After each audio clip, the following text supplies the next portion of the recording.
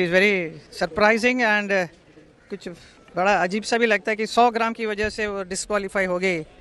तो कितना मतलब कितना महत्व है अपना वेट को, वज़न को ठीक से रखना।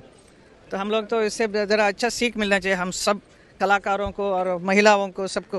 Very bad day black day in the of international Olympic committee in the history of subcontinent in the history of Asia in the history of world sports लानत शेम बेगैरत, बेशरम, बेहया, घटिया, बेगैरत और जितने भी लफ्ज हैं, वो इनके लिए इस्तेमाल हो सकते हैं। एक बड़ी ही अनफॉर्चुनेट खबर ये कल रात से जो मतलब सर्कुलेट कर रही है, वो ये कि जो इंडिया की टॉप रेसलर है विनिश पोगाट उनको जो है डिस्कवालीफाई कर दिया गया है 50 के जी के कैटेगरी में पेरिस ओलंपिक्स में। उन्होंने फाइनल मतलब लड़ना था for the gold medal but now she disqualified because of being overweight लेकिन we'll talk about Vinesh Phogat's issue later on क्योंकि बहुत इंपॉर्टेंट है, और इट जस्ट रिफ्लेक्ट्स कि जो कुछ विनिश पोगाट का जो ये इशू है इट जस्ट रिफ्लेक्ट्स कि यार हमारे मतलब पाकिस्तान, इंडिया में, मैं मतलब यहाँ की बात करूँगा, जो फेडरेशंस का कभी कभार कितना मतलब जो है डैमेजिंग और नेगेटिव रोल होता है और किस तरह से पॉलिटिशियन जो है वो इन्वॉल्व रहते हैं हमारे फेडरेशंस में। की ने कमाल कर दिया against all the odds she performed so well so well तो मेरी बड़ी ख्वाहिश थी कि इसमें कुछ ना कुछ करके जाएँ और बेहतर हो, लेकिन ऐसा हो नहीं पाया। इनसेन कह रहे हैं, भाईजान all records of this Olympics are now gone yeah she she would be you know consider at bottom edge according to rules she will be the last now yeah I know I know show on paper that win against Japanese wrestler will not be counted black day for India in Olympics जी हाँ ये बड़ा आपके कुछ टट्टू मट्टू जो है, और हमारे कुछ जो टट्टू फट्टू है वो सिर्फ़ और सिर्फ़ वो सिर्फ़ और सिर्फ़ जो है वो सिर्फ़ और सिर्फ़ पाकिस्तानी, इंडिया पे वीडियो, ओलंपिक पे वीडियो, बेशरम। और बेशरम तुम हो, बेगैरत तुम हो, जो सच के आगे आवाज़ नहीं उठा सकते। ले लो पैसा, ले लो शोहरत, ले लो दौलत। अगलों ने बार बार जब वो टॉप सीट से ओलंपिक चैंपियन से नहीं जितवा सके। वर्ल्ड चैंपियन से नहीं जितवा सके तो हराम के। पिल्लों ने ये कर दिया। सिर्फ़ 90 प्लस ग्राम्स ग्राम्स किलोज नहीं। किलोज नहीं। ग्राम्स ग्राम्स सिर्फ़ थे और जानबूझ के विनेश फोगट को नहीं टाइम दिया गया। प्लीड किया। इंडियन जो कंटीजेंट गया है, जो ऑफिशियल्स गए हैं, उनका हमें थोड़ा टाइम दे।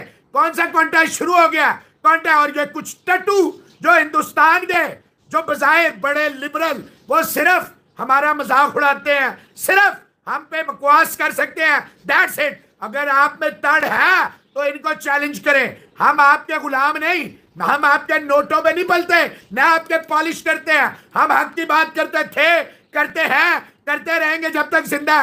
बाल लगवाने हैं तो मेरे से ले ले।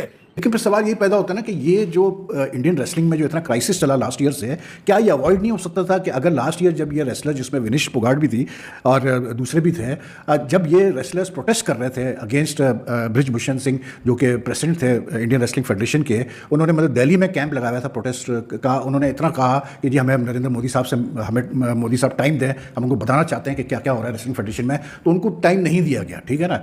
अब अगर उस वक्त टाइम दे दिया जाता तो शायद मेरे ख्याल से ये सब कुछ नहीं होता लेकिन उसको क्यों नहीं टाइम किया दिया गया? क्योंकि जैसे like set at the start of video ये जो पॉलिटिशियंस की इन्वॉल्वमेंट होती है हमारी फेडरेशन में, इसका जो नेगेटिव आउटसेट है वो यही होता है फिर कि आप फिर मेरिट में नहीं किसी को ना ला सकते हैं, ना निकाल सकते हैं। अब हुआ यह कि क्योंकि ब्रिजभूषण सिंह बहुत पावरफुल एक इन्फ्लुएंशियल पॉलिटिकल फिगर है यूपी में फॉर बीजेपी तो मतलब उसको, उनको हटाने में बहुत टाइम लगा। फाइनली जब उनको हटाया गया तो जो आए हैं नए मतलब उनकी जगह पे मैं बिकॉज़ आई डोंट मैं चेक करता हूँ, हर चीज़ पे करता हूँ, संजय सिंह। ना ही is also suppose to be a close aide of कैसे ब्रिजभूषण सिंह। तो बात वही है कि एक चेहरा आपने हटाया, आपने उसी ग्रुप के एक बंदे को आपने प्रेसिडेंट बना दिया। अब लेकिन कभी कभी कभी कभी गैरत का कभी कभी हलाल होने का भी हक अदा किया करो, बेगैरत, बेशरम। तुम लोगों की वजह से हम लोगों को हमेशा हमेशा जलील होना पड़ता है। ये कुछ घटिया नपाक, पलीत, गंदे अंडे रोटन एग्स गंदी मछलियाँ जो है तालाब को गंदा करती हैं। हम आपस में लड़ते रह जाते हैं। वो सारे जुल्म सितम हमसे करते हैं। मज़े लेती है। चाहे वर्ल्ड स्टेज हॉकी देखो, तुम्हारे साथ क्या हुआ? आवाज़ हम ही ने उठाई अपना रेसलिंग देख लो बॉक्सिंग देख लो, जो स्पोर्ट्स देख लो, जो स्पोर्ट्स देख लो, हमारे साथ हमेशा होता है। हिंदुस्तान एक अरब चालीस करोड़, हमारा ये पैसा, हमारा वो पैसा। अबे भाई, हर दफ़ा, हम तो होते ही नहीं है ना। हम तो कंपटीशन में नहीं होते। हर दफ़ा तुम भुगतते हो, लेकिन तुम नहीं मानोगे। गुलामी की ऐसी आनक लगी है, ऐसी आँखों पे, और दिमाग में नफरत की पट्टी लगी हुई है। तुम लोग कभी नहीं मानोगे, कभी नहीं, अब तुम लोग ये कभी नहीं देखोगे, तुम्हारा दोस्त कौन है, दुश्मन कौन है?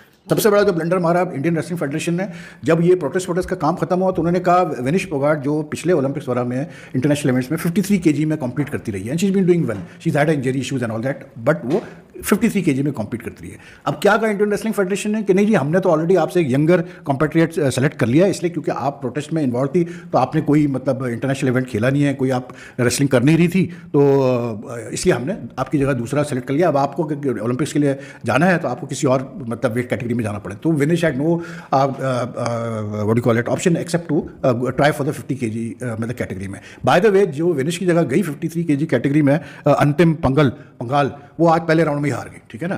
तो you know it just shows कि किस तरह से फेडरेशन में काम होता है। अब हुआ ये कि वेनिश बोगाट को क्योंकि she had to go down in a weight category तो obviously they're going to be weight issues और वही हुआ है ये जो फाइनल से पहले वेन वगैरह होता है, वो जब वेन हुआ तो पता चला कि, पहले पता चला कि she is two two three K G over wait ठीक है? पूरी रात तो बेचारी लगी रही है किसी तरह से जो है मतलब वज़न कम हो जाए, लेकिन आपको पता है कि यार ओवरनाइट नहीं हो सकता but she still lost lot of मतलब weight overnight but she was still short by hundred gram मतलब she was still over a weight by just hundred gram तो शी वॉज़ डिसक्वालीफाइड अब मैं पढ़ रहा था सुनील गवास्कर साहब का भी स्टेटमेंट्स पाया काफ़ी वो नाराज़ हैं कि जी, बड़ी ज्यादती हुई है विनिश पोगाट के साथ और इंडियन ओलंपिक एसोसिएशन को और गवर्नमेंट को इसको टेकअप करना चाहिए। आप क्या टेकअप करेंगे? रूल्स आर रूल्स यार। आप कुछ नहीं कर सकते इसमें। सौ ग्राम वेट ओवर वेट होगा या पचास ग्राम होगा या एक के होगा। रूल तो अप्लाई होंगे। ये तो आप ये बोले कि भाई जो इंडियन रेसलिंग फेडरेशन में जो, ने जो भंड मारा है, उसका आप अकाउंटेबिलिटी करें ना यार कि आपने एक जो आपकी मेडल होप थी, उसको आपने ज़बरदस्ती जो है दूसरे वेट कैटेगरी में फोर्स किया कि वो करें। जबकि when when after the protest उसने कहा वनिश बोगाट ने कि भाई मेरे ट्रायल ले लें आप। मेरे ट्रायल्स ले लें आप। ट्रायल्स में अगर मैं सही करती हूँ तो मुझे फिफ्टी थ्री कैटेगरी में थे लेकिन मना कर दिया गया उसके लिए भी। तो you know for her to even qualify which is why you know why she was not seeded in this event in this fifty K G तो उसको पहला मैच ही जो चैंपियन थी ओलंपिक चैंपियन थी उससे जापान की मतलब चैंपियन से लड़ना पड़ा, वो जीती बड़े आराम से, ठीक है? अब मसला the way she fought yesterday in the semifinals and all she was looking very much like you know on the way to get gold तो इट्स इट्स वेरी अनफॉर्चुनेट यार लेकिन देखें, जब गलत आप फेडरेशन लेवल पर जब आप सियासत करेंगे पॉलिटिक्स करेंगे फेवरेटिज्म करेंगे पॉलिटिशियंस को इन्वॉल्व करेंगे तो फिर यही नतीजा निकलता है, यार। आपके इंडिया के आते आते गोल्ड मेडल हाथ से चला गया ये मैं आपको बता दूँ। यू नो इट्स अनफॉर्चुनेट लेकिन जो आप करेंगे, भाई आप भरेंगे, यार, सीधी सी बात है। हमेशा याद रखिएगा, देखें, बात ये होती है कि जब ये लास्ट ईयर इन्होंने सारा ये किया रेसलर्स ने प्रोटेस्ट किया था, यार, बहुत मतलब उनके खिलाफ चीज़ें भी हुई ट्रॉलिंग भी हुई, सब कुछ हुआ, ठीक है ना? मीडिया ने भी कुछ चैनल ने बहुत उनको मतलब गलत उनको मतलब नेगेटिवली कवर किया, सब किया एंड दे वेटेड के प्राइम मिनिस्टर से मिले। लेकिन बात वही होती है कि देखें, कोई प्लेयर भी यार एथलीट ऐसा नहीं होता कि वो अपना खेल रत्न का अवार्ड वापस कर रहा है मेडल वापस कर रहा है। कुछ तो होगा ना यार कि वो मतलब इत, इतने महीने उन्होंने प्रोटेस्ट किया।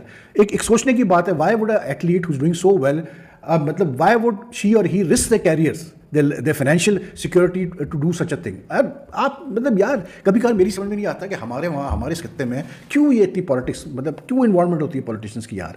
आप जो इंडिया की परफॉर्मेंस रही है एथलीट्स की ओलंपिक्स में I tell you one thing they are good athletes they getting all the facilities उनको पैसा भी दिया जा रहा है उनको ट्रेनिंग फैसिलिटी भी दी जा रही है लेकिन now I think Indian Olympic Association को ये भी देखना पड़ेगा आपको केस स्टडीज़ करनी चाहिए। आपको एथलीट्स को केस स्टडीज़ करनी चाहिए अपने अपने इवेंट्स की। Look towards smaller countries like Australia and Britain and all Canada कि ये कैसे मतलब इनका सिस्टम इतना सक्सेसफुल होता है? इनका सिस्टम कैसे क्लिक करता है? ये कैसे धड़ाधड़ चैंपियंस प्रोड्यूस करते हैं? ओलंपिक चैंपियंस प्रोड्यूस करते हैं। You know you need to study अगर आपको किसी और सिस्टम से फ़ायदा हो रहा है आप बिल्कुल सीखे उस सिस्टम से। Any anyway,